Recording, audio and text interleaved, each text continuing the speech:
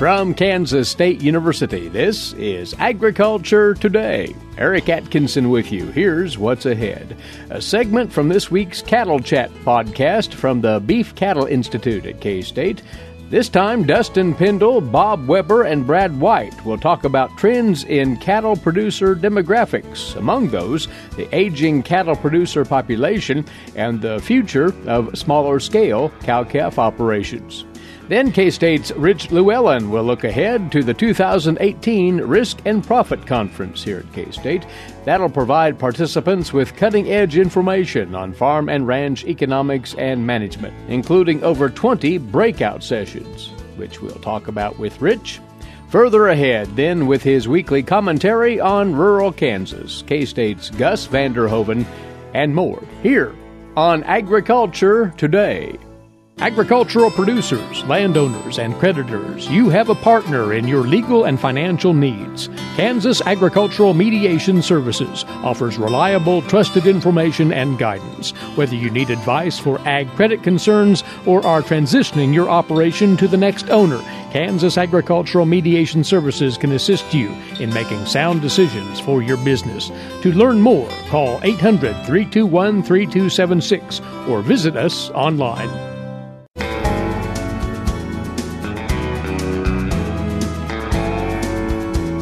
This is the K State Radio Network, and for openers on this Agriculture Today, another BCI Cattle Chat from the Beef Cattle Institute here at K State, a portion of the weekly podcast from the group. This go round, veterinarian Brad White, livestock economist Dustin Pendell, and cow calf specialist Bob Weaber. We'll talk cattle producer demographics. Here's Brad. Dustin, you came across some numbers and We've both been in conferences uh, recently, two separate conferences, where somebody brought up the age of beef producers and how that's changing. And you looked up actually some numbers. Yes. So a lot of times when you go to uh, any conference, workshop, wherever, and it's always, hey, this is the average age of a producer, and they're it's really they're getting older. We've got to do something because everything's going to come crashing down. So I went out, did some research, looked at the past census, uh, USDA census, which is done every five years to kind of look at the average age and also the distribution. Got some questions for you guys to, to see, test your knowledge on the uh, average age of producers. So, dun, dun, dun. we're just going to go back to 1978, which is a great year because that was the year I was born.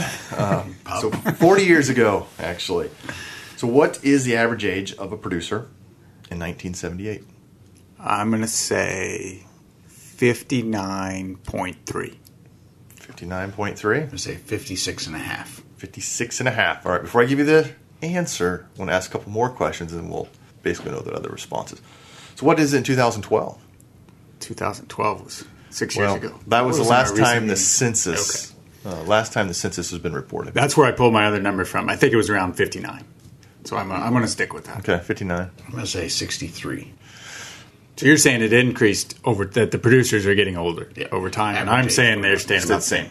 Well, Brad is closer to the number, but Bob is right as it is increasing across time age. And so in 2012, the USDA winners. census. you both get participation both medals. uh, so it's 58.3 is the average age of a producer in 2012, according to the Ag Census. If we go back to 1978, 40 years ago, it was 50.3. Fifty point three. So it's going up eight years. It's going up eight years. And if you take a look at back in 2007, 2002, 2000, or 1997, it's averaging about two two and a half percent every five years. It increases. It, it increases. Yeah. How does that line up with the the change in in average life expectancy of Americans? It's probably pretty parallel. I would no, guess. that'd be more. That's a that's a pretty good increase. That's a pretty good increase. Eight years over that forty year period that's more than life expectancy has increased over oh, that yeah, time. Yeah, no, definitely. I don't, I don't know what the number is off the top of my head, but however, I, I would wonder how that aligns with the number of people in ag. So there are, are potentially there fewer, are fewer yeah. people in ag, and those operations are getting bigger as a whole. Yeah. Which so would which would the advantage to do that are typically older landholders potentially yep. so. more equity. Yeah. That, so one other comment I want to make is it's yes, the number's going up. The average age is going up across time. But what's interesting is actually the distribution. So if you can look at the distribution of people who are 65 and older, 18% of producers in 1978 were 65 and older. You compare that to today or 2012 numbers and it's probably pushing 25%. 25% So or there's more and more producers are getting older. And then So about a seven percent increase in the sixty-five and Right. older category. And then if you look at the uh, 55 to 65 age category, that's also getting a little bigger. Where it's getting smaller is the young producers, the people who would be entering into it. And that's the uh, under 25, 35, 25 to 34, and even the uh, 35 to 44 categories getting smaller.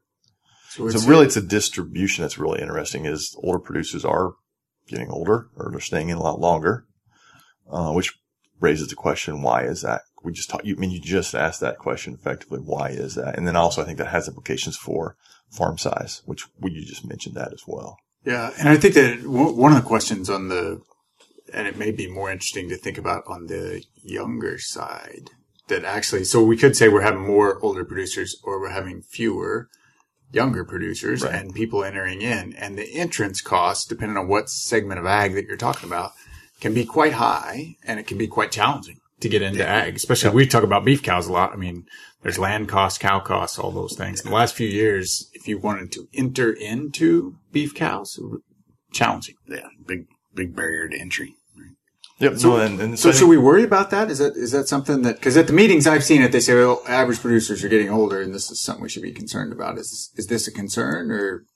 I mean, there's going to be some definitely some transition. I think as some of these guys exit, but I don't know that it's nothing that we won't handle. We can't handle. I, I, Yeah. I think you as they retire and exit the industry, I think you'll continue to see fewer and fewer. Op- I mean, there's not when one retires, you're not going to have a new one enter. I don't Yeah. think. I think what's going to happen is these individuals who are older, who probably have larger farms, will then be purchased by maybe a mid age. And so they continue to get bigger. But I don't think you're going to see a one retires, one enters. I think it's just going to be fewer producers. And I think farm sizes are going to continue to get bigger, which is More what the trends we've yeah. been seeing.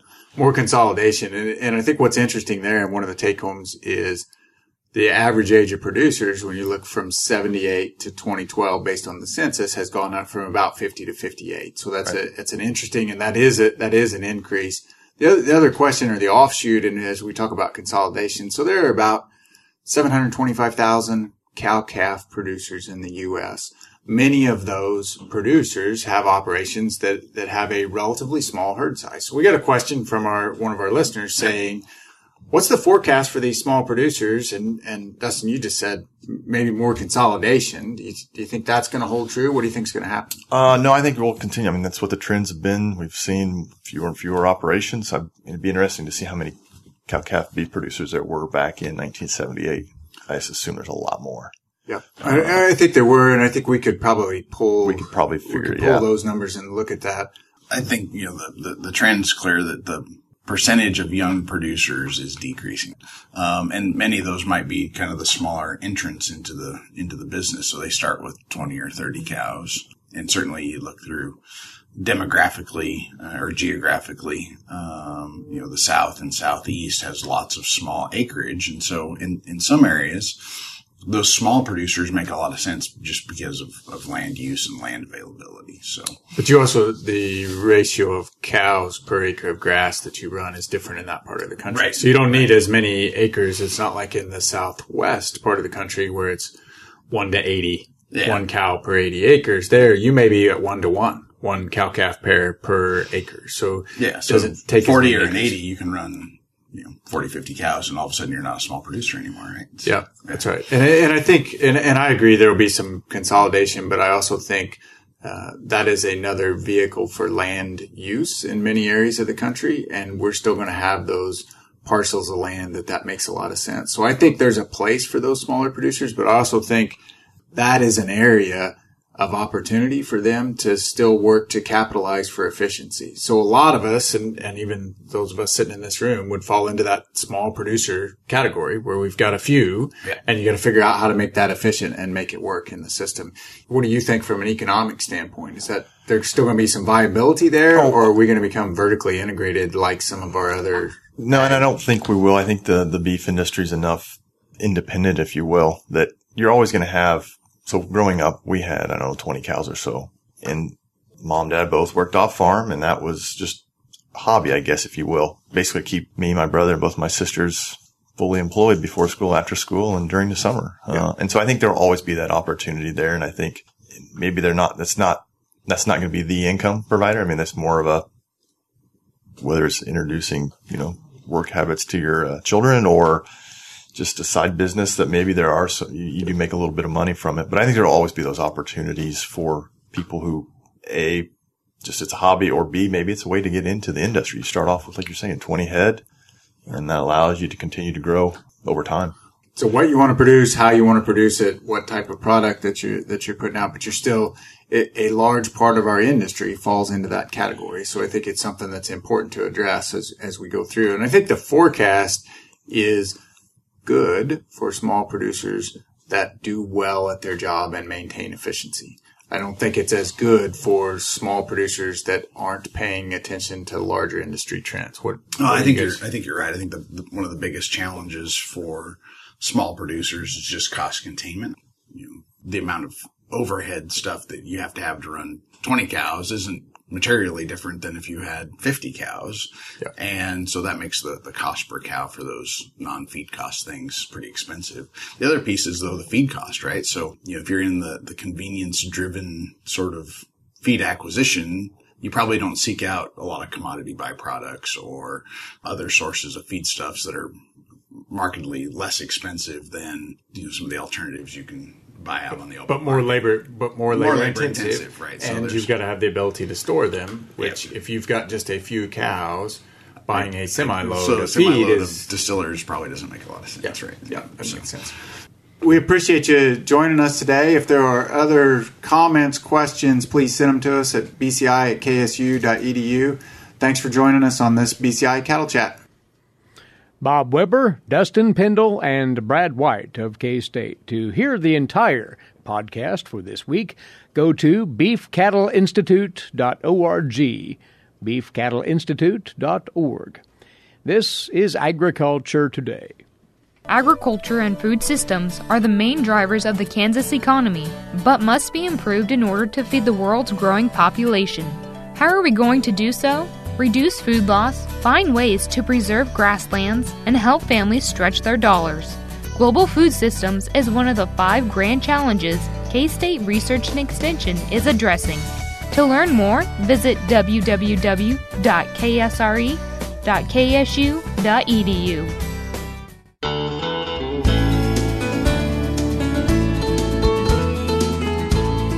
This part of Agriculture Today is going to offer you producers a full overview of an upcoming and always important event. Out of the Agricultural Economics Department here at K State, it's the annual Risk and Profit Conference here on the campus. It's set for the latter part of August. We'll lend details, of course, in just a moment. Along with us from the Agricultural Economics Department, an extension assistant there, Rich Llewellyn. Rich is responsible in a large part for coordinating this program every year. And we'll list through some of the highlights of this year's Risk and Profit, Rich, but remind us of the premise of this event. It uh, reaches out to producers and anybody basically allied with the agriculture agricultural industry, right? That's correct. We have a lot of producers, but also a lot of ag lenders who attend, as well as crop insurance agents, uh, agribusiness managers, extension personnel. Uh, so it's a very wide range of folks who attend. Uh, it started about 23 years ago with the intent of kind of being a showcase for some of the research going on in the ag econ department at K State. So uh, it's continued and uh, continues to fulfill that function, uh, providing information for folks that are needing it. Plus, there are added features to the research reviews that we will certainly talk about here. This is set for Thursday and Friday, August the 16th and the 17th at the Alumni Center here on the K State campus. Is there a specific theme aligned with this program this year? One of the main things is our uh, keynote speaker is uh, Dr. Richard Crowder, and he's going to be talking about trade issues. Uh, he's not sure what direction that's going to take, actually. He's still waiting some to uh, see what happens with some of the tariffs and, and some of the other things going on in the trade scene. So, uh, he is a former uh, trade negotiator for agriculture uh, in the Bush administration and is still at Virginia Tech working with trade issues, and so he'll be coming to discuss that. Uh, so that'll be a very important part of it. In fact, he will open the program up as the lunch speaker on Thursday the 16th, and he brings a vast wealth of experience in the area of trade. Yes, so his comments does. will be extremely timely. And he knows what's going on, but will also be able to discuss it since he's no longer in that position. So that'll be a helpful thing too. That ought to be a great session in and of itself. But following his presentation, Dr. Richard Crowders will be the first of the rounds of breakout sessions. And here's where the reviews of K State agricultural economics research come in, right? That's correct. We have seven sessions altogether four on Thursday and three more on Friday morning. Uh, and so folks will be able to choose from a total of 22 different topics, choose seven to uh, participate in and attend. These involve presentations of research being done by the faculty in our department. It'll involve discussion as well as presentation, so uh, opportunities to ask questions and learn more of what's going on there. Rich, you say there's some weight toward the livestock side this year. There is a little more this year. We uh, have several presentations on uh, the uh, cattle marketing, on cow calf profitability, live cattle markets, and, and some things like that that uh, we haven't had always in the past. So uh, it's a, a crops oriented conference a lot of times, but we do have more livestock than sometimes. And just to add some specifics there, K State's Brian Coffey, for instance, will talk about the principles of hedging livestock sales using futures markets. Brian will be joined in another breakout session by K State's Ted Schroeder and Glynn Tonsor as they'll examine risk management in evolving live cattle markets. K State's Dustin Pendell, Kevin Herbel, and Whitney Bowman will take on cow calf profitability, where to focus management for success. And here's a unique one. Glynn Tonsor will team up with Budhika Patali to look at the impact of climate change and geographic movement of cattle production. So again, those sessions oriented toward the livestock production side of it, and Rich, there will be, not surprisingly, a session on what's happening with the Farm Bill, as maybe that'll be headed down the home stretch come Risk and Profit Conference time. We sure do. We don't know exactly what will happen between now and then, but uh, Mykel Taylor and Art Barnaby will be discussing what the situation is at the time that the conference takes place. So if something has been passed, then they'll be discussing, you know, what's in the bill. If it hasn't, they'll discuss what the two uh, chambers of Congress have come up with so far and what's going on in the conference committee as they debate that and try to figure it out. Plus, there are several of those workshops, breakout sessions, uh, oriented toward tax related subjects. We do have several things. The uh, new Tax Cuts and Jobs Act was passed in December and takes effect this year. And so we have Roger McEowen, who's on the faculty at Washburn University uh, in the law school, uh, one of the premier ag law persons in the country. And so uh, he and uh, Mark Dikeman will be discussing that act itself, but we also have some other issues uh, related to farm payrolls. So uh, it's something that uh, could be very helpful for folks trying to figure out the tax side of things. And just to uh, further whet the appetite for these breakout sessions, other samples. K State's Allen Featherstone and Robin Reid will take on Kansas farm finance issues. Mykel Taylor and uh, Allison Pitts will be addressing in their session the value of social capital in farmland leasing arrangements. And somewhat associated with that, how much do landlords benefit from agricultural subsidies versus tenants? K State's Nathan Hendricks has put together some interesting insight on that. Also, K State's Bill Golden will be back in town. He'll join Matt Sanderson and Bridget Guerrero to look at attitudes toward groundwater use in the Ogallala Aquifer. Just one more to mention here. Can adjustment of planting dates offset the warming impacts for Kansas sorghum production?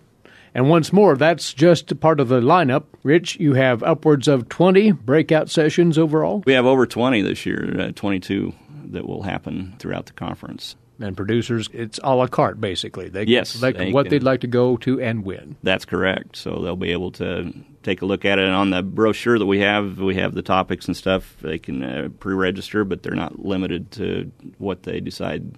Uh, they can change it once they get to the conference. Now, Rich, a feature that was introduced at Risk and Profit several years ago and with great response to it will once again take place the evening of Thursday, the 16th. This is called A Conversation with a Kansas Producer. Remind us of what that's about. We've been doing this about 10 years now, and it's been very well received. Uh, where we have a, a, producer, a Kansas producer, who comes in and uh, in an interview format, uh, describes what he's doing, uh, some of the innovative things that he's tried, some of the things that work, and sometimes some of the things that don't work. And so this year we have Bob Hazelwood from over south of Topeka coming in from Hazelwood Farm, and he's an experienced and a successful producer in that northeast Kansas area. That's so he'll correct. share his story, and there'll be plenty of time for interaction with him during that session. Yes, sir. Then the next day, Friday, August the 17th. There'll be more of the breakout sessions, uh, but uh, those are sandwiched in between the market outlooks by our K State specialists. Right. In the morning, first thing, Dan O'Brien, our grain marketing specialist who's from Colby, uh, will be here to uh, share his outlook on the grain markets for 2018 into 2019. And uh, again, some of the trade issues that are going on, especially in the soybean market, he'll be uh, focusing on that uh, looking at uh, how this may affect uh, the markets down the road, uh, what's going on at the time of the conference, too. Then uh, after lunch, we'll have Glynn Tonsor with the uh, livestock outlook, primarily cattle, but he also does take a look at some of the other breeds as well, and looking at what's going on there looking at trade as well as production and costs, and he just has a, a pretty wide range of, of things he looks at with that. So, once again, it's a great program through and through. Both days are worth one's while. And registration isn't due imminently, but it's time that producers and others who would like to take part in Risk and Profit start thinking in that direction. That's right. The uh, deadline for the cheaper rate is uh, August 13th, so it's still about a month away, but. Uh, we like having folks uh, go ahead and register as soon as they can. And uh, there's hotel accommodations too in Manhattan, and we have some group rates on that that will uh, uh, need to be taken care of around the first part of August. So we'd be glad to have folks come. And even if they can't register by the 13th of August, they can still show up. Uh, we do take walk ins on that as well. And registration fees are, when you consider the volume and the quality of the information, nominal, really. We think so. It's $200 for uh, two days. And if you bring extra people from your operation, it's 180 for them. Or if you just want to come for one day, it'd be $125. Uh, so that's a pretty reasonable fee for that. And again, all of these details can be found, including the path to registration on the Ag Manager website, right? That's correct. agmanager.info and look for the Risk and Profit Conference on the events.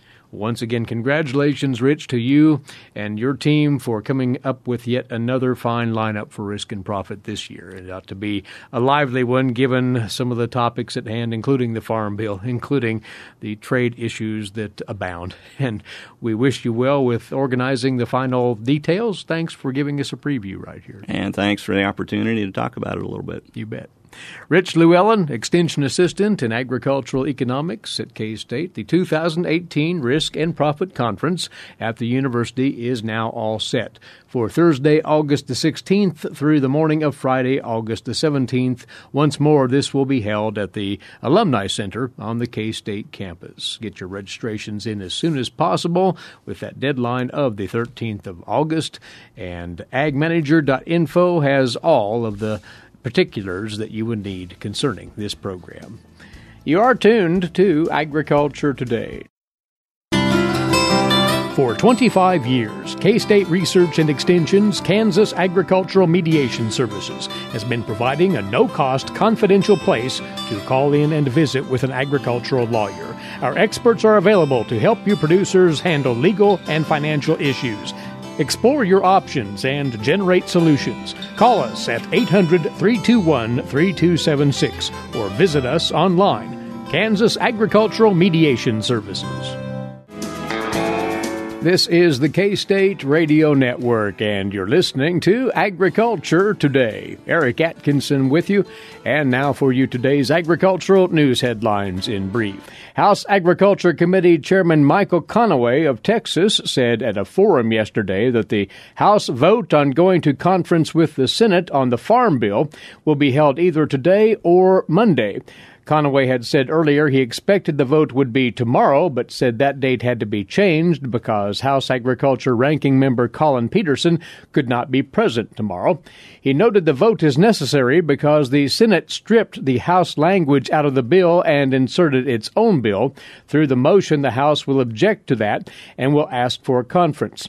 Conaway vigorously defended the House bill's nutrition title that would impose work requirements on beneficiaries of SNAP and tighten up eligibility requirements. The Senate bill, of course, does not contain those provisions. The Senate version passed 86 to 11, while the House bill passed 213 to 211 with only Republican votes.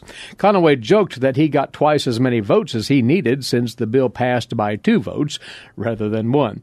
Conaway also added he does not understand why he's getting so much pushback against the SNAP provision that would require beneficiaries to work 20 hours per week.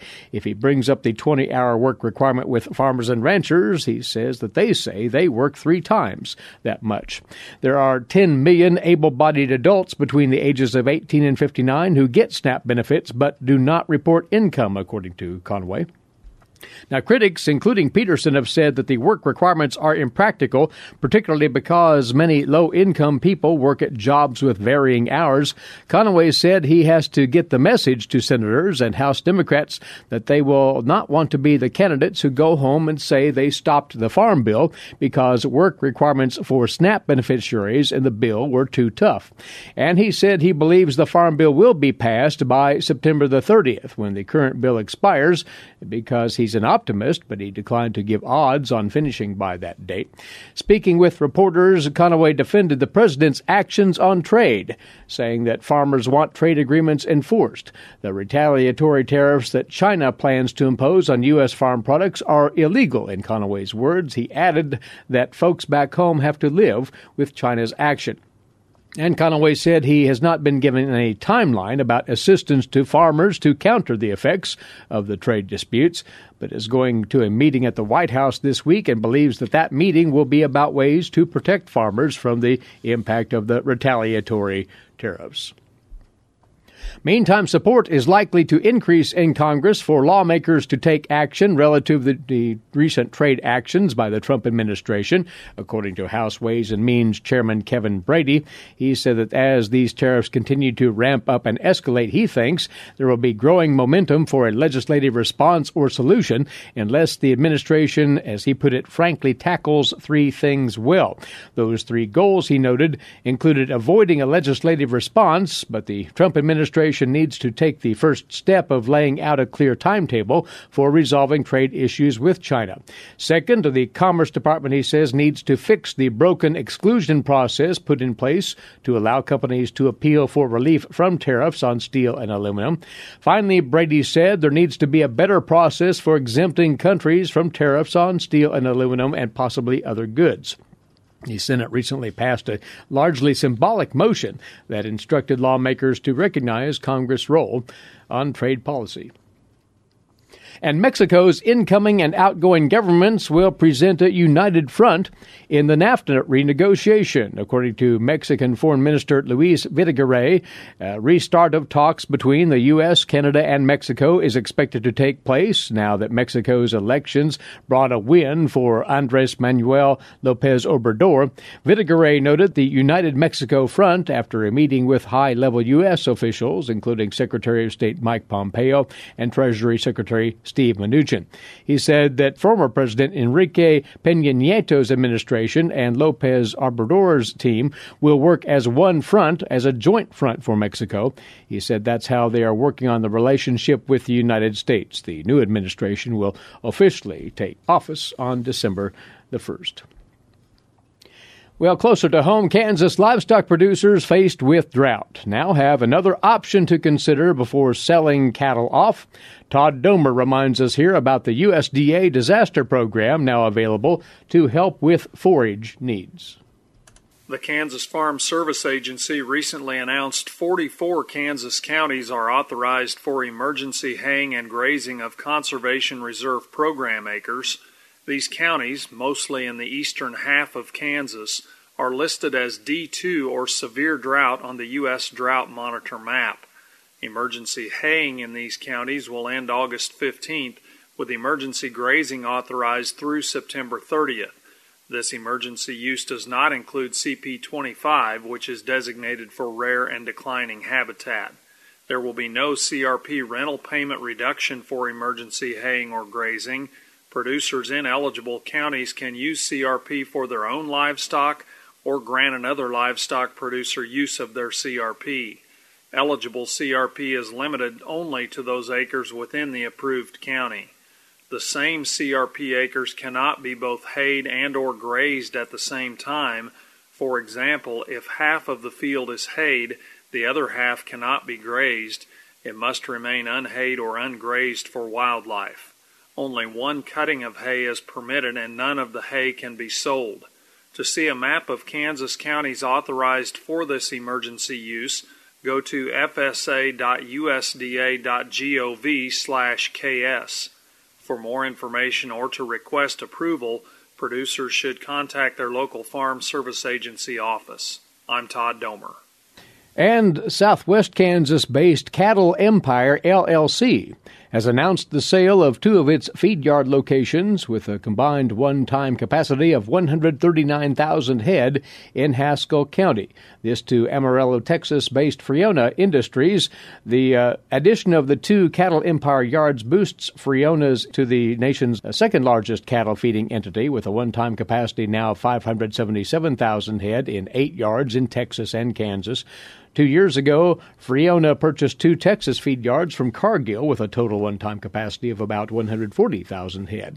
Cattle Empire sold its Yard 1 and Yard 2 locations, retaining its Yard 3 and Yard 3 North locations, again with a one time capacity of 51,000 head. The company will now focus on expanding its customer cattle feeding segment, according to a statement from Cattle Empire, and it remains based in Satanta. You're listening to Agriculture Today. Have you ever thought about where your food comes from? If you're thinking the grocery store, think again. Facts show that the American farmer feeds more than 129 people. They are continually increasing and improving their operations. A wide variety of crops and livestock are grown in Kansas as well as the United States, providing food to your dinner plate. Next time you see a farmer or rancher, thank them. For more information, contact K State Research and Extension.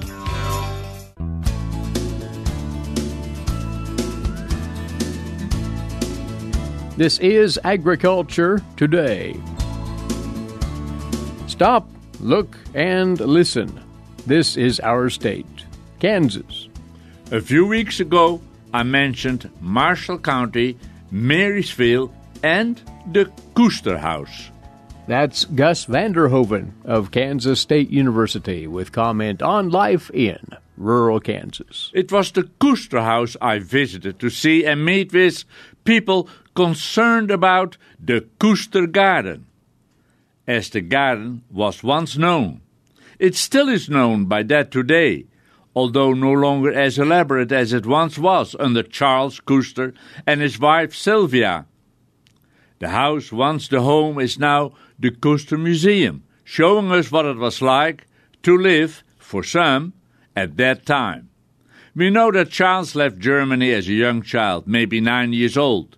The family sailed in November 1851 from Bremen. They arrived in New York City in January 1952. They moved to Cincinnati by train and from there moved over the years further west to stop and stay in Marysville, a frontier town at that time. It was 1860 when they arrived. Charles must have been a teenager then, speaking fluently German. Of course, he would by now have learned English, but as I never lost the Dutch language, he never lost the German language.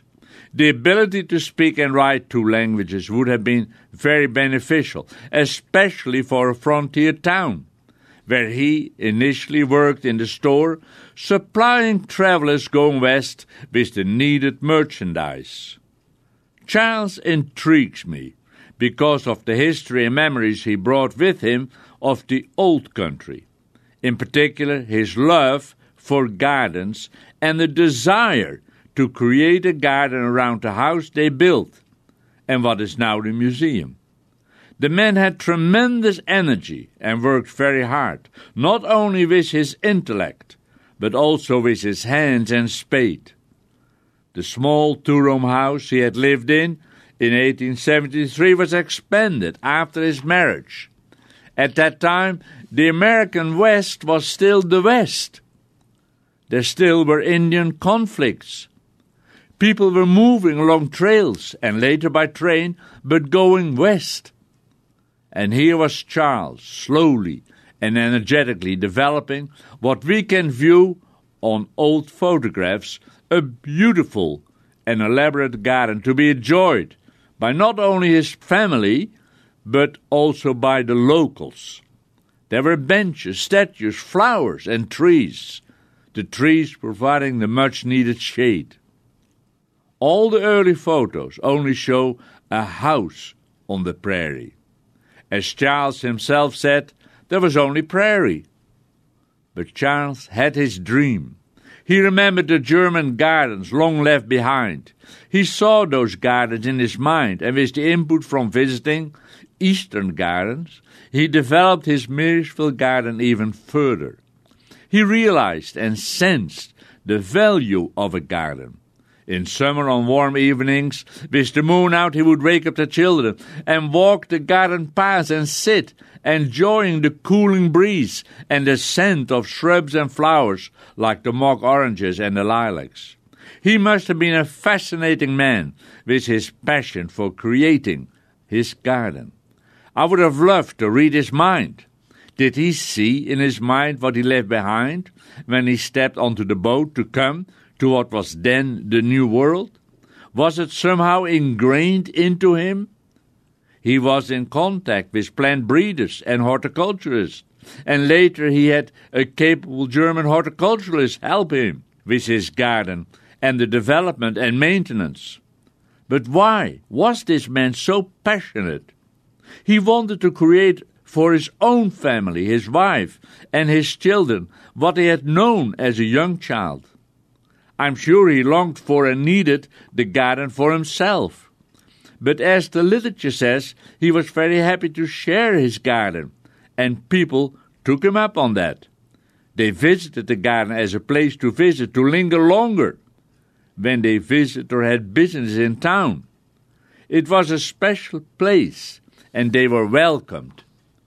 I can fully understand why some people have the interest and drive to restore the garden to honor the early pioneer family, the Koesters, but also for what it stood for. However, ever since I visited the Koester Museum and walked the garden on a rainy Monday, I have been thinking. To do it right, and it only should be done right, is a big challenge. The challenge is not only to rebuild recreate the garden as it was, or in the creative spirit of Charles Koester. But it has to go way beyond. Charles worked 30 years to create the garden, and when you look at the old photographs, you see the change over time. The ultimate elaborate garden to be enjoyed, to walk through, to smell, and to watch the butterflies and insects. But not only that, also to eat the fruits, as he planted fruit trees and harvested fruit. It's interesting that his son, who took over the block after his mother and later father's death, did not care for the garden. He built his own house, and the once beautiful garden fell into neglect. I do not know the town Marysville. However, where Kansas towns look at themselves and are asking, Who are we? Marysville has much to show. Having been an active part of the Pony Express and many trails going west, Colonel Frank Marshall established a tavern and a ferry at the crossing of the Blue River. He named the post office, the town which grew up around the ferry and the tavern, Marysville, after his wife. With all that and so much more, the good farmland I see the restoration of the garden not as too big a problem. What I do see is an issue is that the upkeep and maintenance of such an historic place and treasure to the community should be well endowed and secured for further generations of visitors. Surely, Marysville can rebuild the Koester Garden and safeguard its future. Gus van der Hoeven of Kansas State University with his weekly commentary on rural Kansas. That's our time for today. Thanks for tuning in. Eric Atkinson here for Agriculture Today over the K State Radio Network.